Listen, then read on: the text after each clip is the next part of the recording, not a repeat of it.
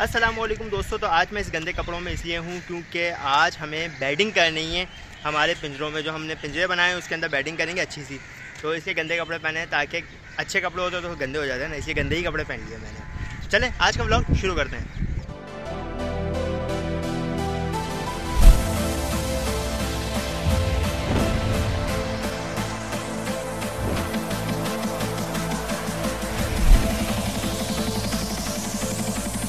भाई, आज दूसरों के बाल कटने थे, लेकिन नहीं कटे हैं अभी तो यही से इसके कटे हैं। बाकी बेचारे गर्मी में जो है ना, पसीने में शराबू हुए हैं, और ये मेरा प्यारा सा बकरा आ गया। हाँ भाई, क्या हो गया तुम्हें? हैं? बार बार पास आके खड़े हो जाते हो। अच्छे बच्चे हो तुम, शाबाश। चलो भाई जैस क्या चल रहा है? हाँ भाई, मज़े में हो तुम? और ये हमारा पानी वापसी गंदा होना शुरू हो गया है, क्योंकि हमारी बत्तख ने उसमें खाक पी के ना। कचरा उसमें डालना शुरू कर दिया। अब कचरा जितना डलता जाएगा और ये वापसी गंदा हो जाएगा। लेकिन यहाँ पर थोड़ा साफ़ पानी है, ये जगह पे देखें आपको दिखेगा। ये साफ़ पानी है, और ये भी गंदा हो जाएगा, खैर। ये सब गंदा करने में माहिर है। क्यों भाई? है ना?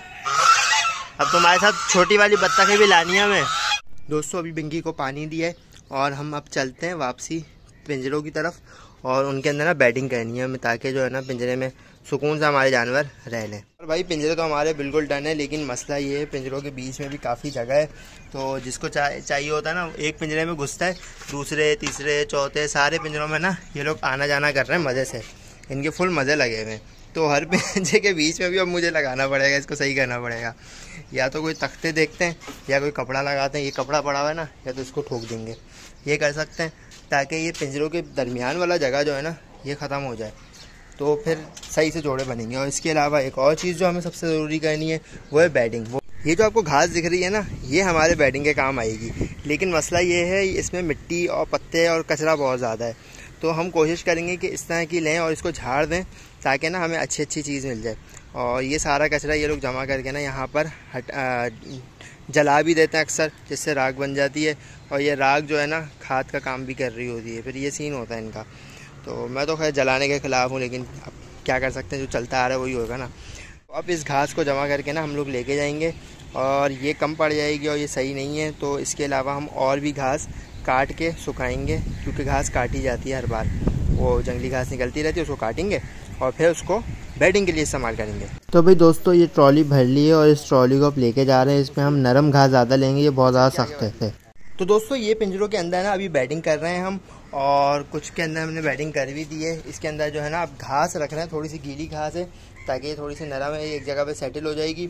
उसके बाद जो है ना, कुछ मसला नहीं होगा, ये तब तक खा पी भी लें, घास अगर खानी है इनको। तो अभी इस तरह से रखी है, फिर इसको बिछाएँगे, और बीच के अंदर ना यहाँ पे ये जो जगह दिख रही है ना आपको, इधर कपड़ा लगाया जाएगा ताकि ये वाला नेट लगाया जाएगा ताकि दोनों ना पास नहीं हो। या जाली भी मेरे पास होगी तो वो लगा लूँगा। ये हमारे पास तैयार है और कुछ इस तरह से इसका शेप आएगा। ये आप देखें, इस तरह से लगेगी, माशाल्लाह से अच्छी लग रही है ना। तो ये करने वाले हैं हम सारा काम और फिर इसमें जोड़ों को ना अलग अलग करके सेट कर देंगे सारे। तो दोस्तों, मैं आ गया हूँ मज़दूरों वाले हुलिये में और ये हमारे पास औज़ार वगैरह हैं। एक कैमरे का स्टैंड भी ताकि हम वीडियो सही से बना सकें। और ये जाली मैंने ले ली है और इसको आप लगाएँगे और चलते हैं पिंजरे के अंदर। और पिंजरे को सही करते हैं। जाली को यहाँ पे रख दिए अब कीले और हथौड़ी। इन दोनों का इस्तेमाल करते हैं और जाली को लगाते हैं। भाई, ये वाला तो हो गया, देखें, यहाँ से भी कवर कर दिया है जो जगह थी और साइड पे ये जगह थी। इस जगह से भी थोड़ा सा कवर कर दिया है। तो नीचे से भी कवर हो गया अब मुर्गी आ नहीं जा सकती और अब ना इधर हम बाकी मुर्गियों को भी ना आराम से रख सकते हैं। जैसे पर मस्ताता हुआ घूम रहा है और ये बार बार चेरी के पास जा रहा है क्योंकि चेरी का खाना है ना, उसमें से ये बोटियाँ निकाल निकाल के खा रहे हैं। और मुझसे बोल रहा है अभी आके कि मुझे उसमें से बोटी निकाल के दो। नहीं जैस पर, जाओ, खुद ही निकालो, मैं नहीं निकाल के दे रहा, जाओ, खुद जाओ। देखा चले गया। सारी बातें समझता है। अब ये जा रहा है, चेरी पकड़ के मारेगी ना तो मैं फिर सही हो जाओगे। चेरी पका दो इन दोनों को, ये दोनों बहुत फ्री हो रहे हैं। ये चलाकी से जाएगा इधर उधर देखते देखते जाएगा। अचानक से चेरी इसको देख रही है। चेरी पकड़ना नहीं, चेरी पकड़ना नहीं प्लीज़ मैं मुझे भाई डर लग रहा है। चेरी ने पकड़ लिया तो चूज़ो और चेरी चेरी की लड़ाई होने वाली ऐसा लग रहा है। चेरी चूज़ों को देख रही है और कितने बदमाश है। ये देखे उसने मुँह उधर किया। जैस पर आएगा, उठा के भागेगा। भागा।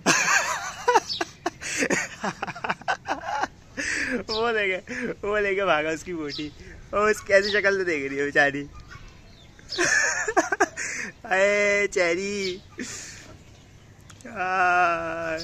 हँसी आ गई चेरी को। और सब देखे, उसके साथ बत्तख भी लगी हुई है। बत्तख भी, बत्तख ने भी ना इन्हीं से दोस्ती कर लिया अब ये चीज़ देखे।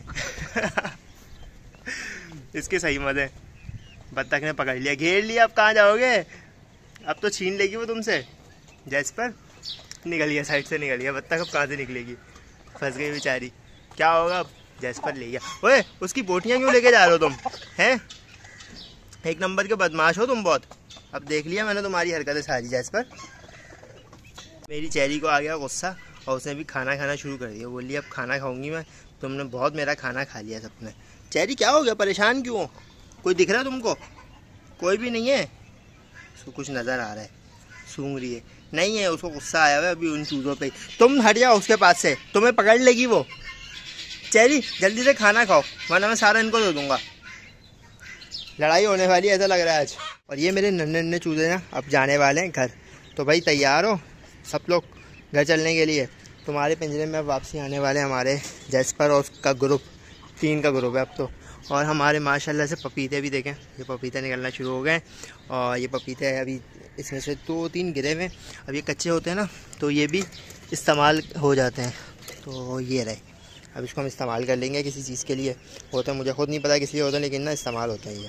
इस केच में काफ़ी सारी जगह है। ये जगह है, ये भी जगह है, ये भी जगह है। तो इसको ना पूरा जाली लगा रहा हूँ। यहाँ पे तो लगानी शुरू कर दी है। और केच में बैठ के वैसे मज़ा आ रहा है। कितना मज़ा आता होगा मुर्गियों को। आराम से हवा आ रही है। ऊपर छाता है। सुकून की ज़िंदगी। खाओ पियो। अब ये नरम बैटिंग हो गई है। तो इस पर सो। सुकून से रहना, क्या मज़े की ज़िंदगी है यार। काश मैं भी मुर्गी होता। हाँ भाई जैसवर क्या हुआ? क्यों आए हो तुम मेरे पास? तंग करने आए हो मुझे? चलो हटो यहाँ से। जाओ। जाओ यहाँ से। कुछ काम के लिए आया होगा इसको। इसको मेरे पास से ये दिख गए ना।